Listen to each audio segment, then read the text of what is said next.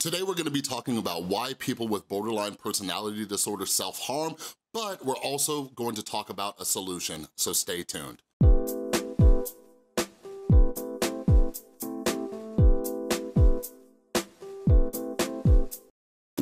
Is up, everybody? This is Chris from The Rewired Soul, where we talk about the problem, but focus on the solution. And welcome back to another video about the symptoms of borderline personality disorder.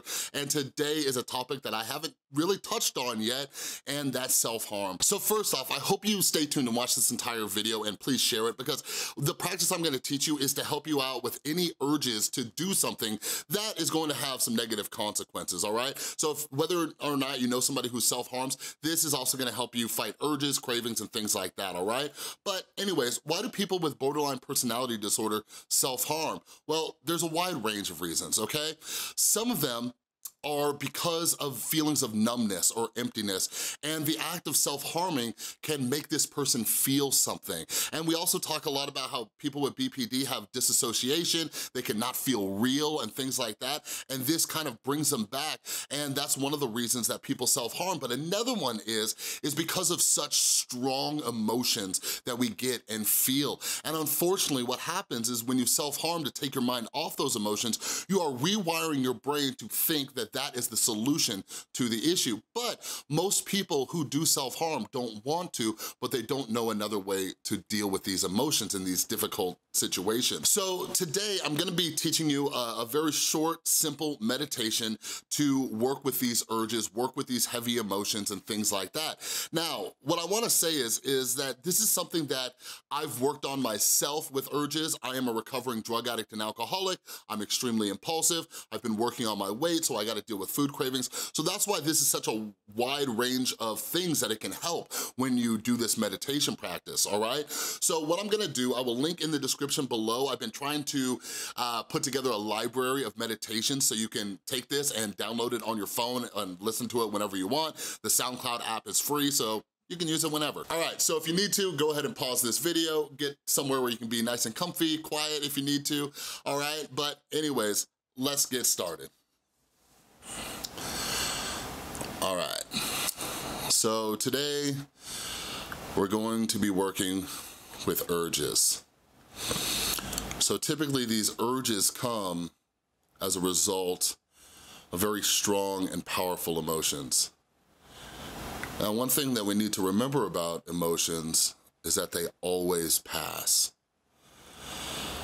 So in this meditation, we're gonna simply get curious about these emotions and the way they feel in our body and notice how they rise and fall.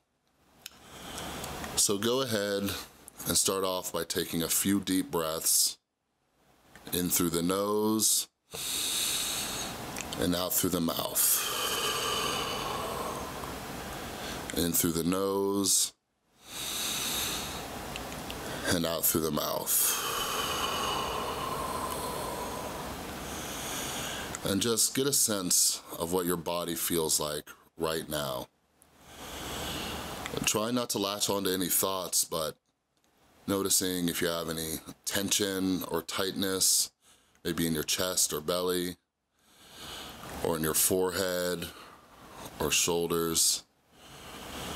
Just noticing what it feels like to be you right now. So what we're gonna do is we're going to investigate these emotions and we're gonna ride them like a wave. So if it helps you, just picture these emotions as a wave and you're on a surfboard.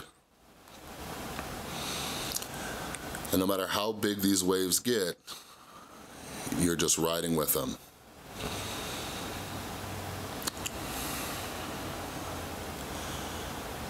So notice how these urges come up and they rise and see how closely you can notice them. Are you noticing any heat, any coolness, any tightness? One of the biggest parts about surfing the wave of these urges and emotions is acceptance. Just let them run their course.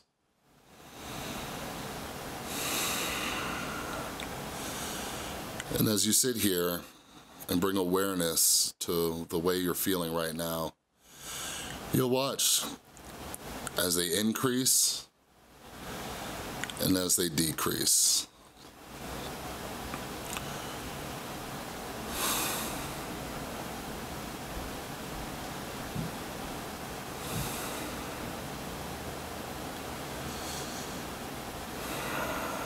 You notice your mind saying any kind of judgments, like I don't wanna feel this way right now, or I shouldn't feel this way, just note those as judgments and bring your awareness just back to the way that your body feels right now.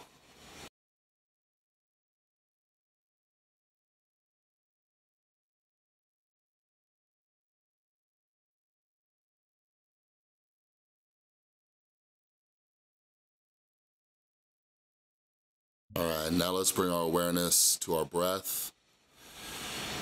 And just notice the rise and fall of your chest or your stomach as you inhale and exhale.